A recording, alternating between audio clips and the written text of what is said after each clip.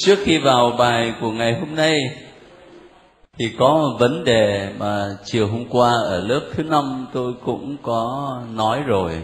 Hôm nay với lớp thứ sáu, tôi cũng ờ, chia sẻ lại bởi vì nó là một vấn đề thời sự.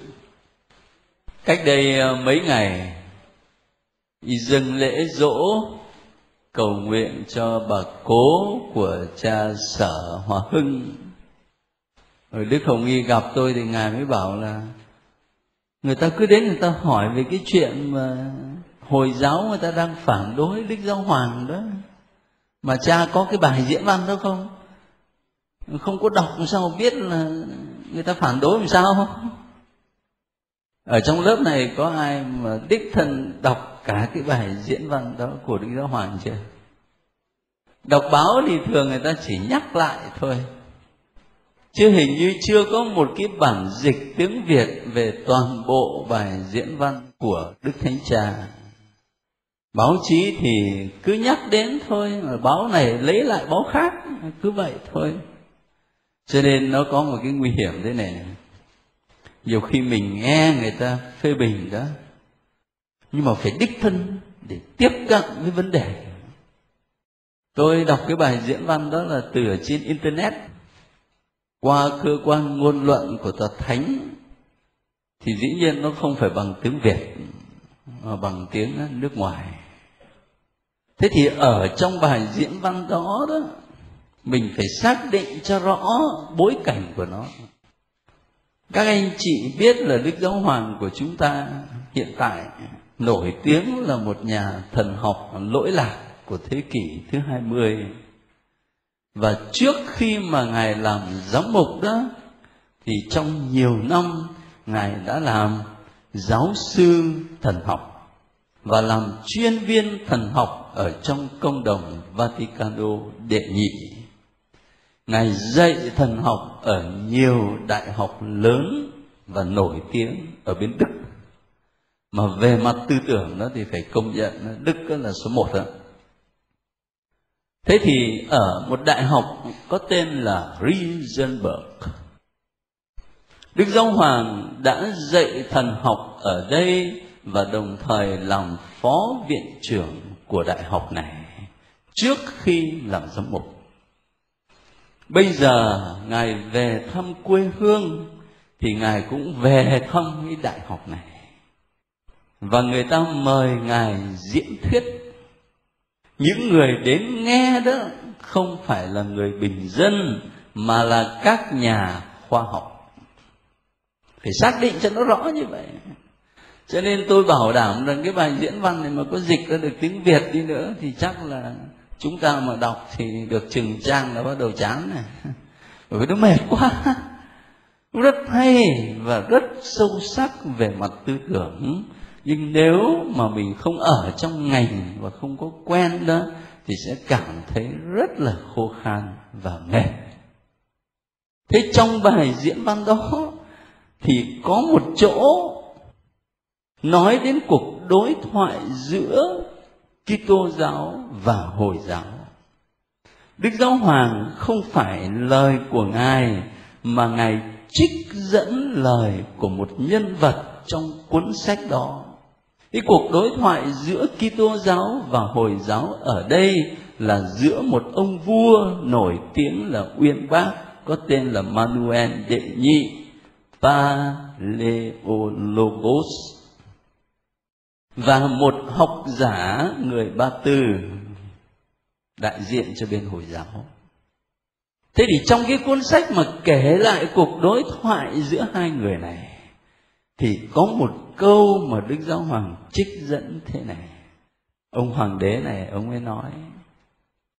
Ông ấy nói với vị học giả Ba Tư đó. Ông hãy chỉ cho tôi xem là Mohammed đem đến cái gì mới. Và ông sẽ thấy là toàn những chuyện xấu xa và phi nhân. Chẳng hạn như là ông ta ra lệnh là phải truyền bá đức tin mà ông rao giảng bằng gương giáo.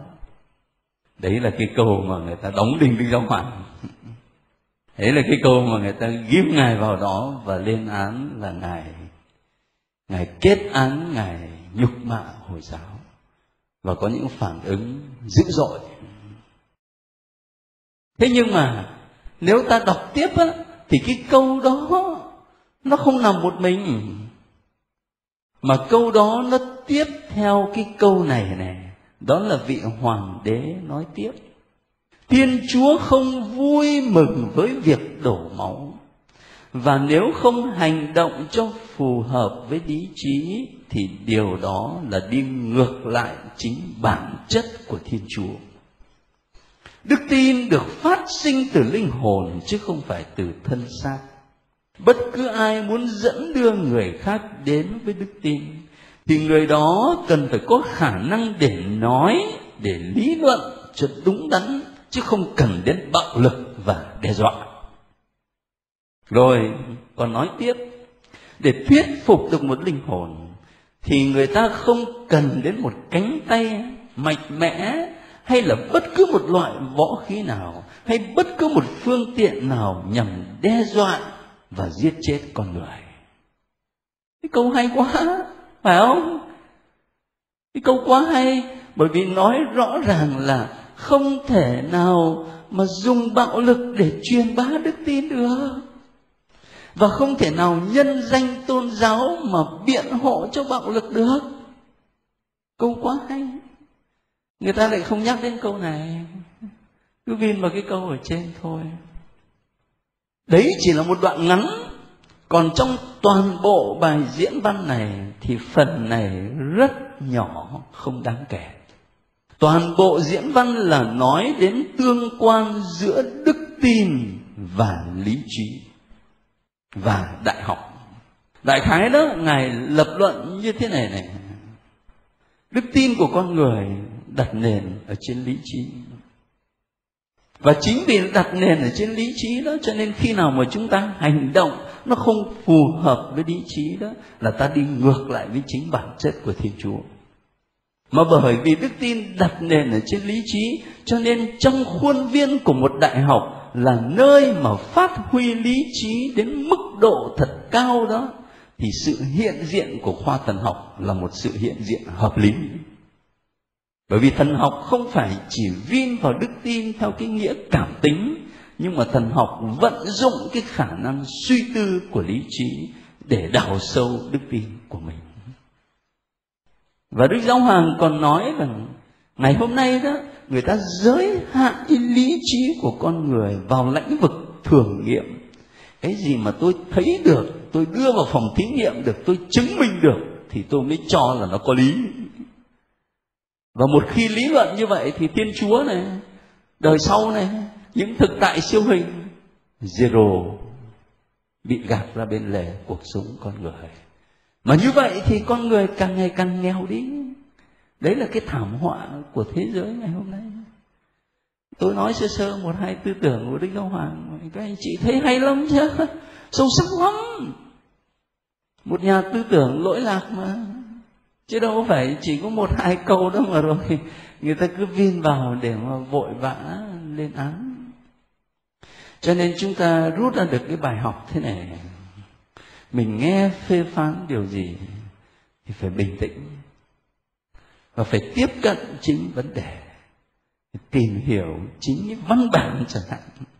Chứ không phải là nghe người khác nói nào thì mình cũng lại nghĩ y chang như vậy nhất là thời đại của báo chí, của các phương tiện truyền thông ngày hôm nay. Là cứ đem lên nói thôi mà nhiều khi chính cái người nói cũng không biết gốc nó là cái gì. Bởi vì chưa đọc bao giờ. Chỉ biết kể lại thôi. Không phải là bởi vì ngài là cha chung của chúng ta mà chúng ta phải bênh. Nhưng mà thực sự là ngay cả ủy ban châu âu sau đó người ta cũng lên tiếng và người ta nhấn mạnh rằng không thể rút một câu nói ra khỏi cái văn mạch của nó. Và đức giáo hoàng trong cái bài diễn văn này là ngài nói với cái giới giới học giả mà, giới nghiên cứu mà. Và ở trong đại học thì cái điều quan trọng là sự trung thực và tự do. Người ta phải được tự do để làm công tác nghiên cứu và làm sao nghiên cứu một cách trung thực. Thế cho nên khi mà Ngài trích dẫn một văn bản đó, thì không phải đó là ý kiến của ngài, nhưng mà ngài trích dẫn để nhằm minh họa cái vấn đề. Mà điều ngài muốn làm nổi bật ở đây đó, nó là cái chỗ mình có đức tin nhưng mà đồng thời phải hành động phù hợp với lý trí. Cái từ lý trí này thực sự đã đối với Kitô giáo, logos, mà chúng ta dịch là lời từ nguyên thủy đã có logos, từ nguyên thủy đã có lời. Và cuối cùng thì logos này là người, lời đã làm người và ở giữa chúng ta. Cho nên cái sự gắn bó giữa logos lời, lý trí và thiên chúa rất là chặt chẽ. Tôi chia sẻ với các anh chị một chút bởi vấn đề này nó là thời sự nhiều khi thì mình cũng ờ, nghe ở trên truyền hình ai tôi có nghe mà. Đọc báo, tôi có đọc. Không chỉ công giáo dân tộc, cả báo tuổi trẻ cũng có đăng nữa. Nhiều khi mình không có nắm vấn đề thì dễ bị hoang mang. Cho nên xin chia sẻ chút trước khi vào bài. Thế hôm nay chúng ta tiếp tục đọc sách Isaiah ở chương 13 cho đến chương 23 ngay ở phần đầu, trong bài mà tôi gửi cho các anh, các chị, tôi đã đưa ra một cái ghi nhận thế này.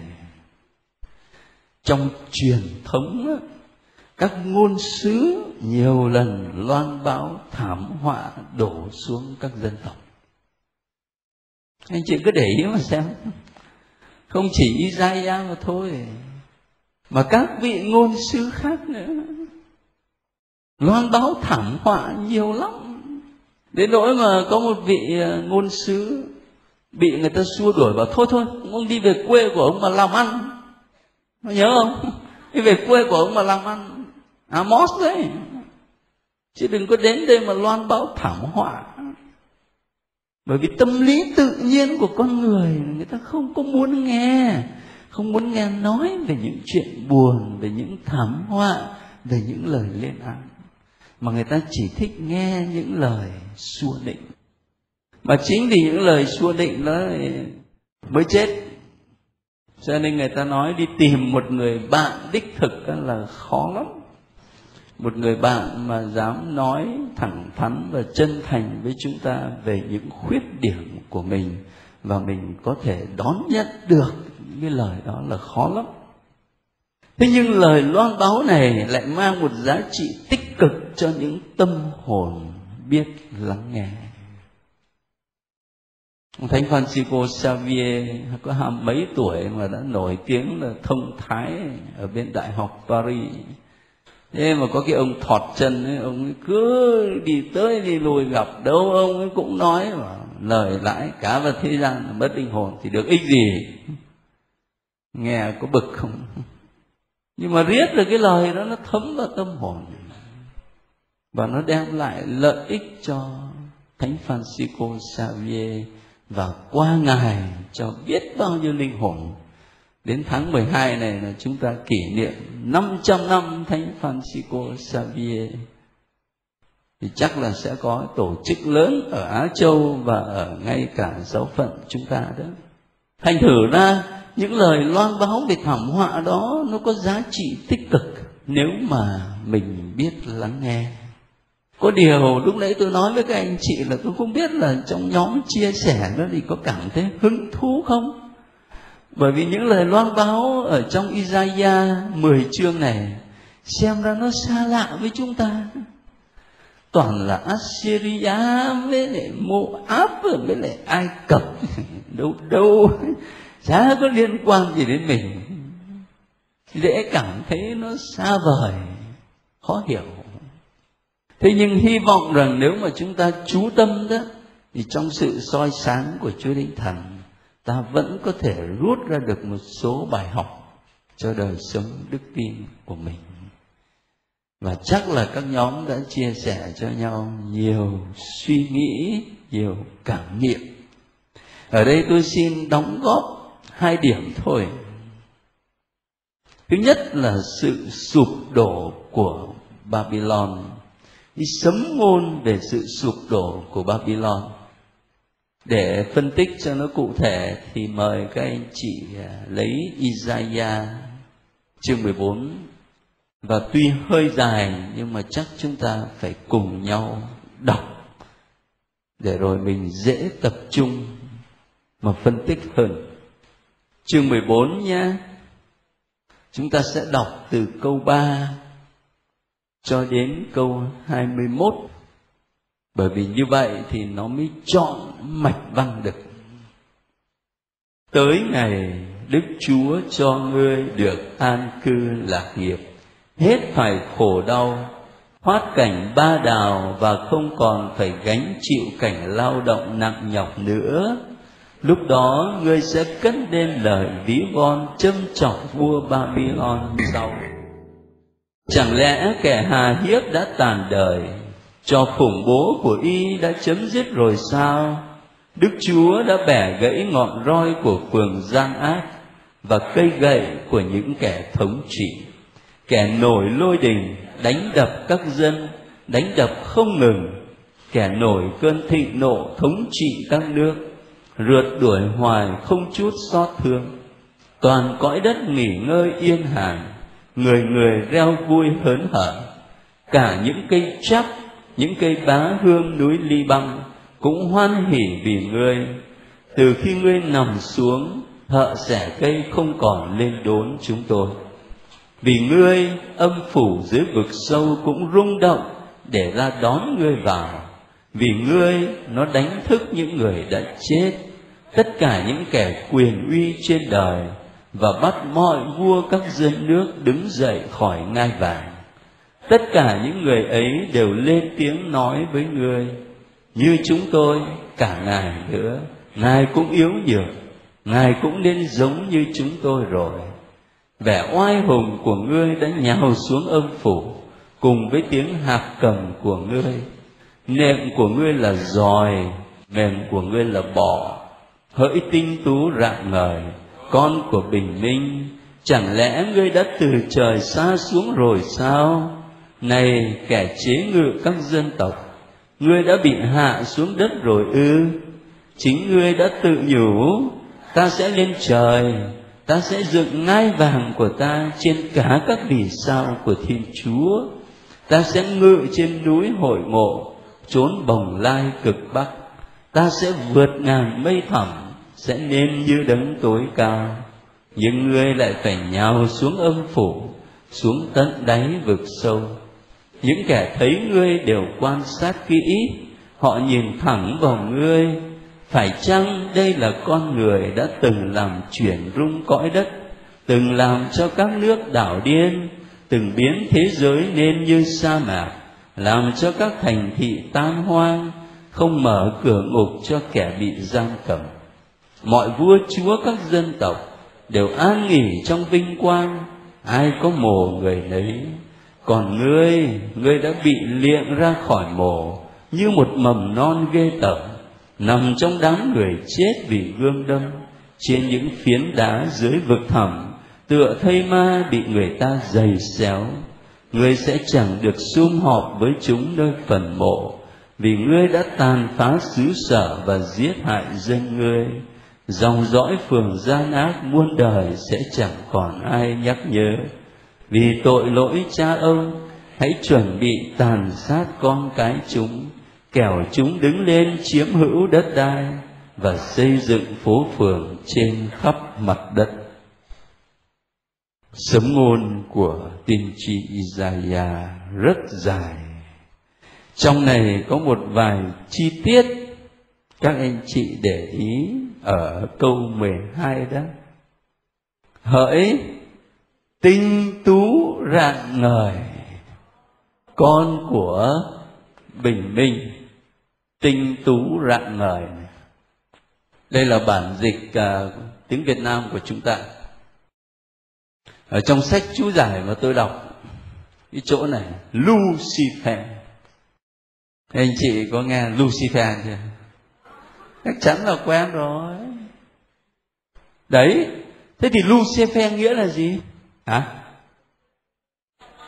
Satan. Sao nữa?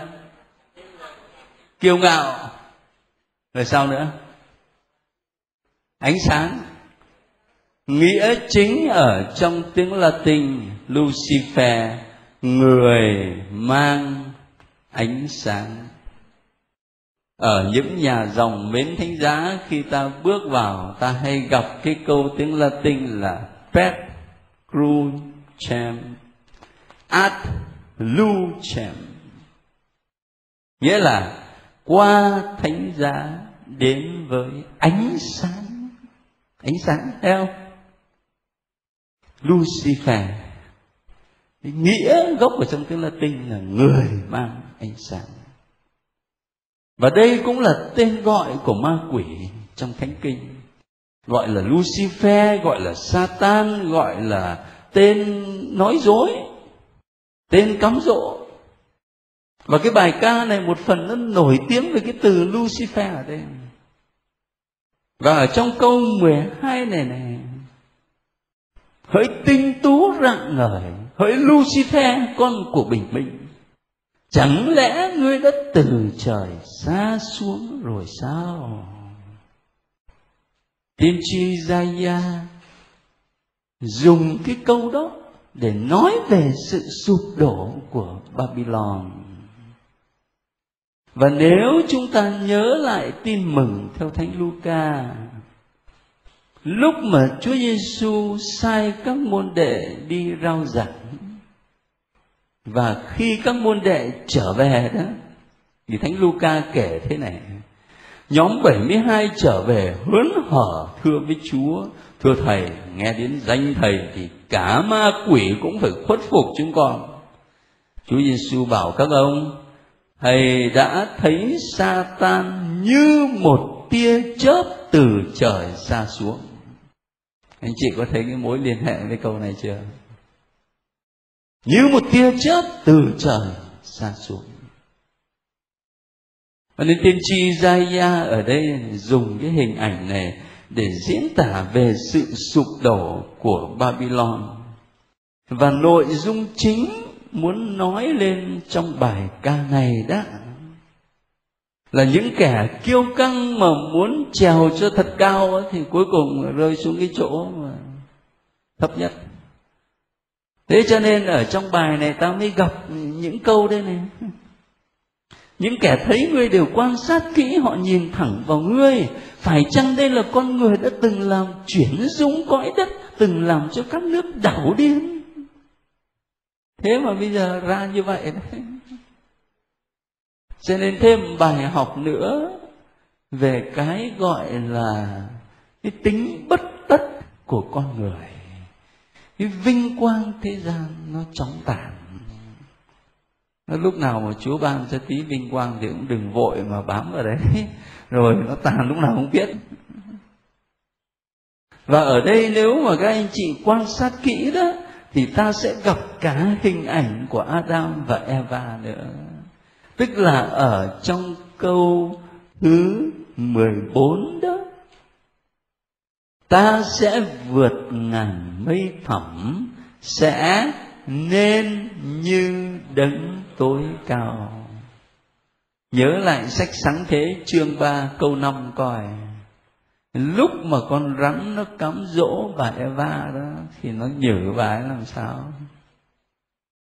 Ăn cái trái cấm này nó không làm sao đâu. Nhưng mà khi ăn rồi thì mắt sẽ mở ra, biết điều thiện, điều ác, và sẽ nên như thiên chúa. Cho nên cái tội không phải là cái chuyện là ăn cái trái đó, mà cái tội là ở cái chỗ kiêu ngạo, muốn nên như thiên chúa rồi cuối cùng đọc tiếp cái câu chuyện về sa ngã mà chúng ta đã học rồi đó. Cũng chương 3 nhưng mà câu 23 đến câu 24 đó, thì ta sẽ thấy là hai ông bà bị Chúa đuổi khỏi vườn địa đàng.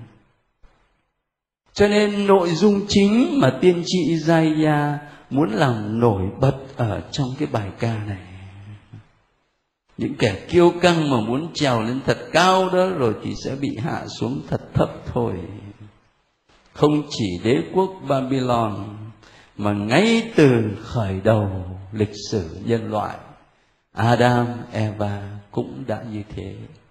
Và trong suốt dòng lịch sử, cứ hết chuyện này đến chuyện kia, nó vẫn lặp lại cùng một kinh nghiệm như vậy. Ngay ở Việt Nam mình cũng thấy thôi.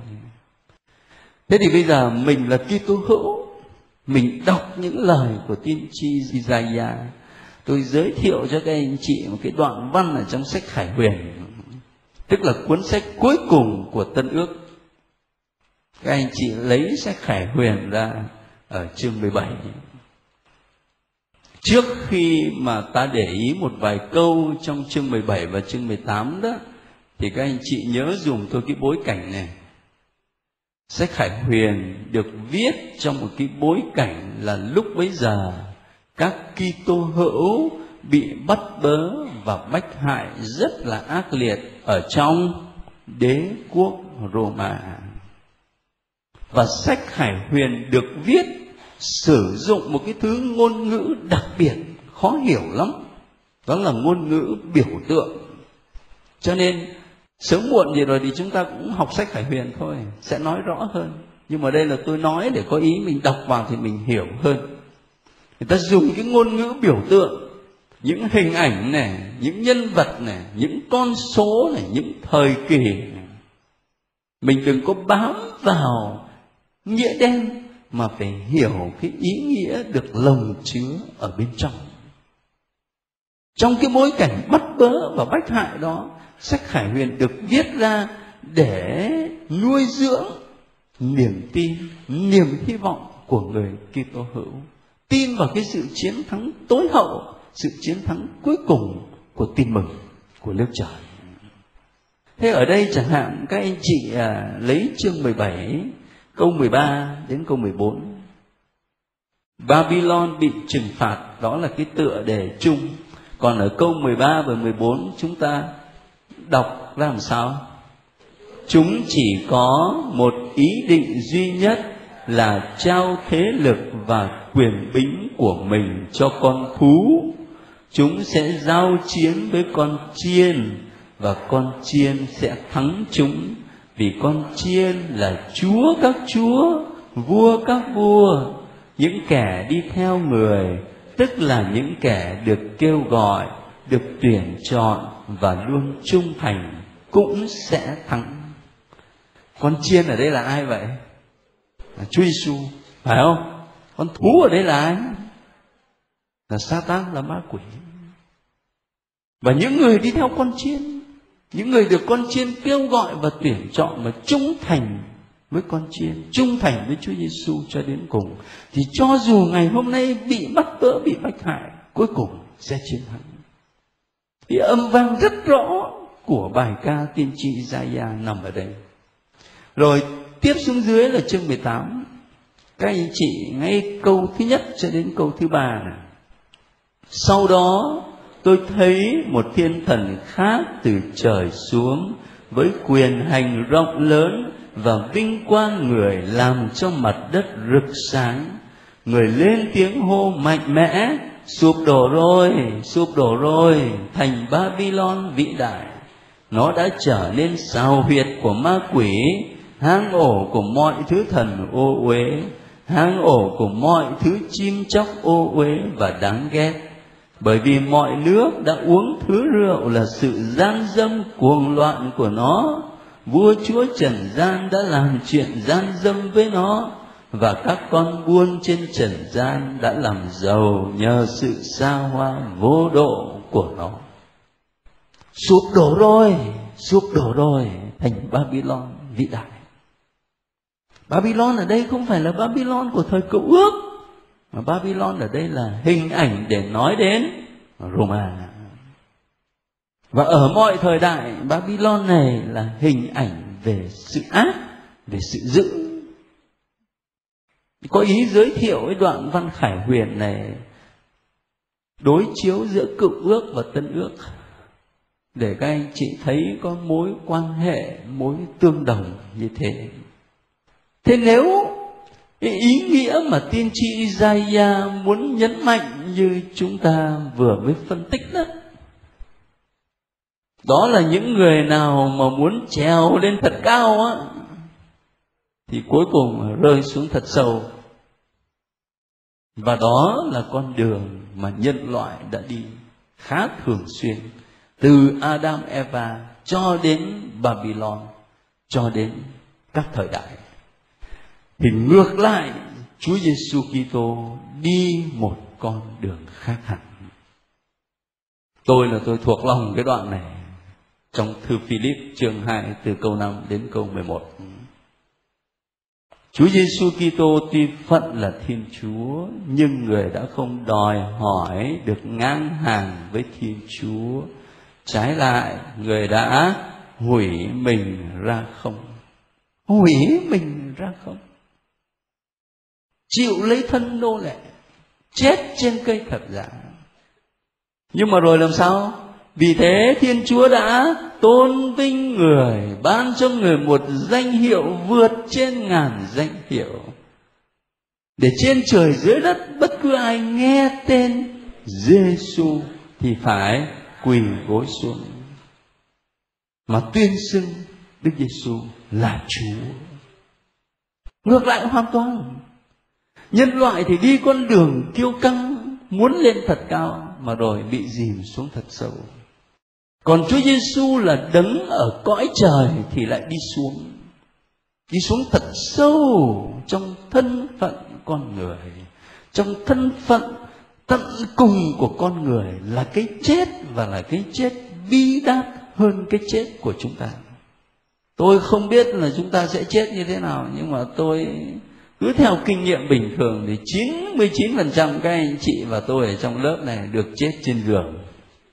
Chúa Giêsu thì lại không được chết trên đường mà chết ngoài đường. Và hơn thế nữa chết treo trên một cây gỗ. Và cũng có kinh nghiệm bình thường thì chắc là khi chúng ta chết mình cũng có một vài người thân bên cạnh. Chúa Giêsu thì cũng có một chút may mắn là có Đức Mẹ, có Thánh Gioan. Nhưng mà số đông hơn thì toàn là những người mà chúng ta gọi là quân giữ. Quân giữ. Mà nhiều khi mình quên, mình cũng là quân giữ. Thành thử ra là ngài đi một cái con đường khác hẳn.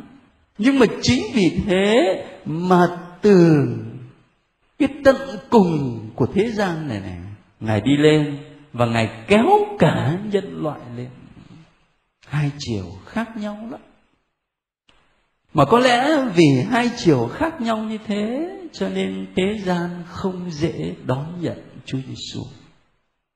Và chưa hẳn là các anh chị và tôi tin vào Chúa Giêsu mà đã đón nhận Ngài. Đón nhận cái lối sống của Ngài mà thư Philip diễn tả. Đang khi đó, đó thì trước khi vào cái bài thơ Đức Giêsu Kitô phận là thiên chúa, nhưng không đòi cho được ngang hàng với thiên chúa thì thánh phaolô đã mở đầu bằng một cái câu tuyệt vời anh em hãy mang trong anh em những tâm tư như đã có trong đức Kitô Giêsu. Kitô hữu là như vậy. Là người mang trong lòng mình những tâm tư như đã có trong Đức Kitô Giêsu mình càng mang cái tâm tư đó nhiều bao nhiêu và sâu sắc bao nhiêu, thì mình càng trở thành cái tô hữu đúng nghĩa bấy nhiêu. Không dễ đâu. Nhưng khi nói đến lời sấm của thiên tri Isaiah ở đây, tôi muốn giới thiệu không chỉ sách Hải Huyền, mà một con đường ngược lại, đó là con đường của Chúa Giêsu trong thư Philip để ta thấy nẻo đường của tin mừng là gì. Và cái bài học thì đương nhiên có thể rút lại rất vắn tắt là cái câu chúa nói, ai nâng mình lên thì sẽ bị hạ xuống và ai hạ mình xuống sẽ được nâng lên. Xin chúa cho mình đã thuộc lòng cái câu đó rồi, nhưng mà mới thuộc lòng bằng cái đầu. Xin chúa cho thuộc lòng bằng trái tim. để nó thấm vào trong đời sống của mình nhiều hơn, trong cách ờ, ứng xử của mình nhiều hơn. Một trong những thí nghiệm để chúng ta biết đó là mình có đủ khiêm tốn hay không là thế này. Giả như bây giờ, mà có ai khen các anh chị hay là khen tôi cái điều gì, xong rồi mình bảo chỉ đâu có gì đâu thì cái đấy đã đủ khiêm tốn chưa? Đấy ai cũng bảo chưa hết. Là vì làm sao? Là vì miệng thì nói thế nhưng mà trong lòng thì khoái chí lắm.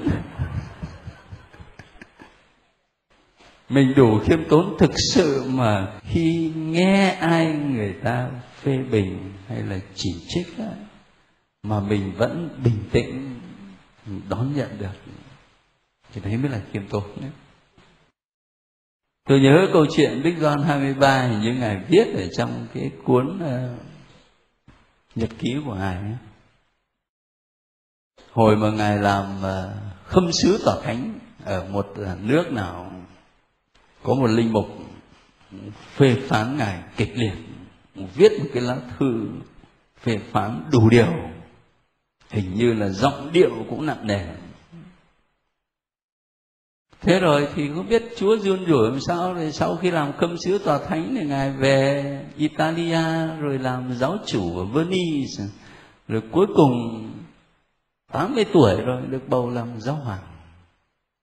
Thế khi ngài làm giáo hoàng đó thì có cái phái đoàn của cái nước, trong đó có ông linh mục đấy đến để chiều yết. Vào gặp riêng nữa. Và ông linh mục thì cứ lo ngay ngáy ở trong lòng chúa từ ngày xưa phê phán ông như vậy mà bây giờ ông làm đức giáo hoàng rồi. Không biết ông còn nhớ không? Đến khi mà vào chiều yết đức giáo hoàng, cả nhóm gặp xong rồi. Ngài mới mời cái ông cha đó ở lại. Lại càng rét. Ngài mới đem cuốn sách nguyện của ngài ra mở cuốn sách nguyện đó, trong đó có cái thư còn y nguyên.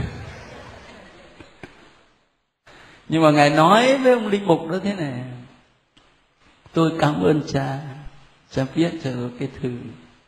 Thỉnh thoảng tôi vẫn đọc lại để xét mình. Nếu tôi không có những điều mà cha nói thì tôi tạ ơn chúa. Còn nếu tôi có thì tôi xin chúa giúp để tôi sửa mình thế mới là khiêm tốn. Đúng không? Thế còn chúng mình nghe người ta khen mà, chúa thì đâu có gì đâu. Nhưng mà nhớ ai mà chạm đến sừng cổ lên. Phản ứng ngay. Cho nên cái câu mà chúa nói thì mình thuộc lòng rồi. Nâng mình lên thì sẽ bị hạ xuống hạ mình xuống thì sẽ được chúa lôi lên. Thuộc lòng rồi, nhưng mà xin chúa cho thuộc lòng bằng trái tim để nó từ từ nó thấm vào cách ứng xử ở đời của mình. Đấy là cái lời sấm của tiên tri Isaiah về Babylon. Rất là nổi tiếng đấy. Tôi nhớ lần trước là tôi có nhắc các anh chị hai cái sấm ngôn của Isaiah mà được giáo hội công giáo chúng ta sử dụng ở trong cử hành phụng vụ và là những ngày lễ quan trọng. Đó là lễ Giáng sinh và Chúa Nhật thứ hai mùa vọng. Cái đoạn mà chúng ta vừa đọc và phân tích á, thì không có được dùng ở trong cử hành phụng vụ. Thế nhưng mà cũng là một sấm ngôn rất nổi tiếng. Bây giờ có một cái đoạn cũng hơi lý thú đó là cái chuyện ờ, ông tiên tri Zaya quần áo không thấy đâu cả ngôn sứ ở trần ở chương 20 đấy, ở đây cũng thế. Mình đọc, mình cứ hiểu theo nghĩa đen thì nó đâm ra là khó hiểu lắm đó. Đoạn này thì ngắn thôi. Là chúng ta cùng nhau xem lại một chút nào. Ở chương 20 đó, từ câu 1 cho đến hết câu 6 vào năm vua Assur là Sargon biệt phái tướng tổng tư lệnh đến giao chiến và hạ thành Adot thì chính lúc ấy, Đức Chúa phán qua trung gian của ông Isaiah, con ông Amok rằng, hãy bỏ miếng vải thô ngang thắt lưng ngươi đi và cởi dép khỏi chân. Theo lời dạy, ông đã ở trần và đi chân không. Đức Chúa lại phán cũng như tôi, tớ ta là Isaiah suốt ba năm trường đã ở trần và đi chân không, để nên dấu chỉ điềm báo cho người Ai Cập và người Cút thế nào. Thì cũng vậy, vua Assur sẽ dẫn người Ai Cập đi tù và người Cút đi đầy. Trẻ cũng như già, mình trần chân không mông hở, thật là nhục nhã cho người Ai Cập những ai xem cút như mối hy vọng và ai cập như niềm tự hào sẽ phải sợ hãi và xấu hổ. Ngày ấy, dân cư miền duyên hải này sẽ nói, đâu rồi niềm hy vọng của chúng ta? Nơi chúng ta đến ẩn náu để được giúp đỡ, hầu thoát khỏi tay vua Assur phần chúng ta trốn ở đâu bây giờ? Cái câu này mà áp dụng cho thời ngày hôm nay thì không biết là nó nó có thích hợp lắm không? Cũng vậy, vua Assur sẽ dẫn người Ai Cập đi tù và người cút đi đẩy, trẻ cũng như già, mình trần, chân không, mông hở. Thế nhưng mà thời này nó đang là thời trang đấy. Có đúng không? Thời trang đấy chứ. Ra ngoài đường thấy mình trần nhiều lắm. Mà đâu có phải đi đầy. Hạng sáng mới có áo đấy mà mặc. Nhưng mà sự kiện là tiên tri gia trong ba năm trời mà ở trần và đi chân không đó, thì đó không phải là ngài chọn lựa một cái lối sống theo nghĩa tự nhiên, mà là trở nên một dấu chỉ và một điểm báo có nghĩa là Isaiah không chỉ rao giảng lời của Chúa bằng lời nói mà còn bằng bằng hành động. Khi chúng ta nói đến mạc khải của Thiên Chúa, thường mình chỉ có nghĩ đến lời mà mình quên mất rằng thiên chúa mặc khải không chỉ bằng lời mà còn bằng hành động. Hình như tôi có nhắc các anh chị điều này ít là một lần. Hành động. Chẳng hạn như hành động sáng tạo của thiên chúa. Hành động giải thoát israel ra khỏi ai cập. Những hành động rất vĩ đại. Và ngay cả khi ta đọc sách phúc âm cũng thế nhiều khi mình chỉ để tâm đến lời của Chúa Giêsu mà mình không chú ý đến cử chỉ và hành động của Chúa Giêsu. Cử chỉ và hành động. Ngài chạm đến người phong cùi. Ngài đến nhà một người tội lỗi ăn cơm chung với người ta. Ngài để cho một cô gái điếm xà vào chân, rửa chân cho Ngài. Đấy, hành động nhiều khi mình không để ý. Mà mặc khải của thiên chúa là ở đấy, không chỉ ở lời mà còn ở hành động. Điều này phù hợp với khám phá của khoa tâm lý ngày hôm nay. Người ta nói là chúng ta diễn đạt cái thế giới nội tâm của mình đó bằng hai cách. Thứ nhất đó là ngôn ngữ bằng lời. Và thứ hai là ngôn ngữ không lời.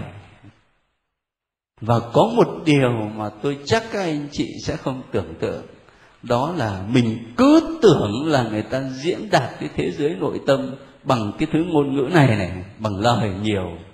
Nhưng mà trong thực tế, tâm lý người ta nói chỉ có 30% còn chính cái ngôn ngữ không lời 70% lạ thế đâu cần nói gì đâu. Nguyết một cái thôi là biết rồi. Đâu cần nói gì đâu. Lắc đầu. Hay là mặt lạnh như tiền nó biết rồi. Đấy, người ta nói với nhau bằng cái đó. Bảy mươi phần trăm. Cho nên là dù ta không biết tiếng nước ngoài nào đi nữa, cứ đi du lịch đi. Đấy. English by hand. Nói tiếng Anh bằng tay. Nói xong bỏ mỏi tay quá. Tưởng mỏi miệng mỏi tay quá. Thiên chúa không chỉ mặc khải bằng lời nhá, mà bằng hành động. Ở đây cũng vậy này, tiên tri Isaiah rao giảng không chỉ bằng lời mà bằng hành động và cái hành động đó mô tả điều gì? Cái bối cảnh lúc bấy giờ, chúng ta đã đọc sách rồi đấy, nhưng mà nhiều khi dễ quên lắm, bởi vì nó không phải đất nước của mình. Đất nước Israel ngày xưa, cho nên thỉnh thoảng tôi cứ phải nhắc các anh chị là vậy. Lúc bây giờ mình nhớ Israel bị chia ra làm hai, một bên là Israel, một bên là Judah thế thì cái đế quốc mà nó hùng mạnh lúc đó là đế quốc nào? Assur, Assyria. Thế rồi ông Israel đó, ông ấy mới đề nghị với ông Judah này là ta hợp tác với nhau để chống lại cái anh đế quốc Assyria đó. Thế thì cái anh Judah này, anh bảo không, anh cứ không chống mà anh liên minh với anh Assyria. Rồi cái anh Assyria đó nó mới thôn tính cái vương quốc Israel. Còn lại với anh Judah mà tiên tri Gia hoạt động ở đấy. Thế nhưng mà lúc mà nó hùng mạnh rồi, nó quay ra, nó đàn áp anh luôn. Anh mới sợ, anh mới lại liên kết một cái nước khác là ai cập. Để anh hy vọng là bảo vệ được sự an ninh cho mình. Cuối cùng, chính ai cập suy sụp. Thế cho nên mới có cái câu là đâu rồi niềm hy vọng của chúng ta nơi chúng ta đến ẩn náu để được giúp đỡ hầu thoát khỏi tay vua Assyria. Nơi chúng ta đến ẩn náu là cái anh Ai Cập đấy. Niềm hy vọng của chúng ta là Ai Cập đấy. Bây giờ nó ở đâu? Tại sao không tựa nương vào Chúa mà lại cứ tựa nương vào thế lực của trần gian? Đấy là điều mà tiên tri Isaiah muốn nói qua hành động là ở trần mà đi chân không. Thực sự ra thì đâu chỉ một mình Isaiah mà chúng ta đã đọc sách của tiên tri Oze rồi.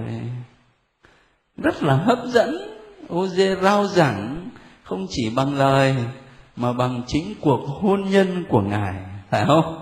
Một cuộc hôn nhân kỳ lạ. Rồi mai mốt học đến Ezekiel cũng sẽ thấy vậy. Jeremiah cũng vậy. Các ngài rao giảng bằng lời và bằng cả hành động. Thế thì ngày hôm nay cũng vậy. Người Kitô hữu cũng được Chúa mời gọi để không chỉ rao giảng bằng lời, mà còn phải là bằng hành động, bằng đời sống của mình và có lẽ nó không có sát lắm đâu, nhưng mà tự nhiên khi tôi đọc cái lời sấm này với hình ảnh của tiên tri Gia như thế, tôi nhớ đến lời căn dặn của Chúa Giêsu cho các môn đệ. Khi sai các ông đi rao giảng tin mừng, mà tôi chắc là các anh chị nhớ cái câu đó. Tức là Chúa Giêsu căn dặn các môn đệ thế này hãy rao giảng rằng nước trời đã đến gần. Hãy chữa lành người đau yếu, làm cho kẻ chết sống lại, cho người phong hủi được sạch và khử trừ ma quỷ. Anh em đã được cho không thì cũng phải cho không như vậy. Đừng kiếm vàng bạc hay tiền dắt lưng. Đi đường, đừng mang bao bị đừng mặc hai áo, đừng đi dép hay cầm gậy cái này chúng ta cũng không thể nào mà hiểu theo cái nghĩa đen được. Bởi vì nếu như vậy thì đức giáo hoàng mình giờ mỗi lần đi đâu đó phức tạp quá. Phức tạp quá. Đức hồng y đi đâu cũng lại phức tạp quá. Nhưng mà cái điều mà Chúa Giêsu muốn nhấn mạnh ở đây đó là phải ra đi rao giảng với một tinh thần phó thác tuyệt đối, cậy trông vào Thiên Chúa cái sự từ bỏ và sự khiêm tốn. Nó không sát lắm đâu, nhưng mà tự nhiên cái hình ảnh của tiên tri Gia tôi nhắm mắt lại, tôi hình dung ngài cởi trần mà đi dép như vậy đó. Tôi nhớ lại cái lời của Chúa Giêsu căn dặn mình khi mà đi rao giảng phúc âm thành thử ra tôi mới ghi chú cho các anh chị ở trong này, để nếu có giờ chúng ta có thể đọc, rồi suy niệm thêm.